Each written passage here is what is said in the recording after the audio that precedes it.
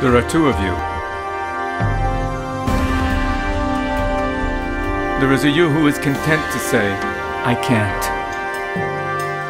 Who you are today because of yesterday. Because that is what the world has made you. And then there is the you who suddenly appears when your life depends upon it.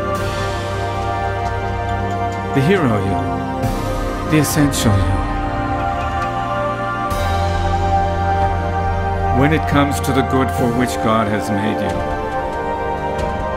when everything depends upon you, then there is only one you. The essential you.